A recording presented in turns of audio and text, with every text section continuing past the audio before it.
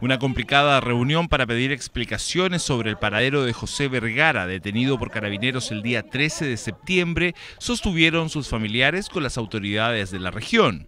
El encuentro comenzó violentamente, ya que a la oficina de la intendenta no se les permitió el ingreso, lo que fue desoído por los familiares del joven que ya lleva más de un mes desaparecido. por mis manos, por mis manos me la voy a tomar. Voy a sacar a esos desgraciados que le hicieron como un perro, como dejaron a mi hermano. Cuando los jóvenes ingresan a, a, que lo examinen, que le hagan un, test psicológico, para que así aprendan a tratar a los seres humanos, a, todos los, a todos ciudadanos chilenos. La situación se desbordó a tal nivel que la intendenta Claudia Rojas no quiso entregar su versión en el momento requerido, dejando en evidencia el mal manejo del nuevo equipo comunicacional del gobierno regional. Tras varias horas de espera, la explicación dejó a los familiares con un sabor a nada. Ella pura aspirina nomás, nada, ninguna noticia. Eh, lo único que fue que dijo era que se sumó eh, ejército y bombero. Ninguna respuesta más de eso. ¿Algunas fechas? 50 piques ya, ya se han revisado 50 piques y hay 300 personas en la búsqueda de mi hermano. Y esto va a seguir hasta, hasta que se encuentre mi hermano. Tuvimos una reunión donde carabineros, policía de investigaciones, eh, pedí que se me diera cuenta respecto de eh, las acciones que se han realizado hasta esta fecha.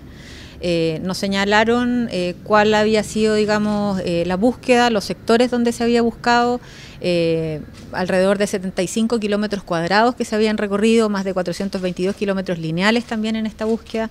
Hay más de 100 efectivos de carabineros efectuando esta búsqueda 100 eh, efectivos de policía de investigaciones también realizándola, eh, junto con eh, tecnología, digamos, cámaras especializadas para realizar búsqueda de los piques, son más de 625 piques. La llegada de la familia Vergara a la Intendencia dejó en claro la falta de un buen equipo asesor negociador en casos como este y dio cuenta del manejo de la autoridad de la misma situación, en los que el nerviosismo pareció ser más que el profesionalismo, situación que se ve a las claras con el vano intento de la secretaria de detener en la puerta del despacho a los familiares del joven desaparecido. Al mismo tiempo, la mayor parte de las autoridades presentes en la reunión no quiso hacer declaraciones. Se está cubriendo todos los frentes. Usted comprenderá que la prioridad es encontrar a esta persona. Y ese es el deseo, por supuesto, de la familia, lo cual es muy legítimo.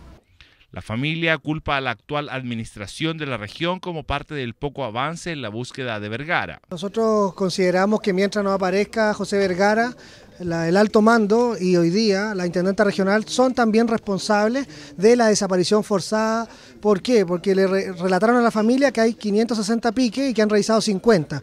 Y esa información ya es una información antigua.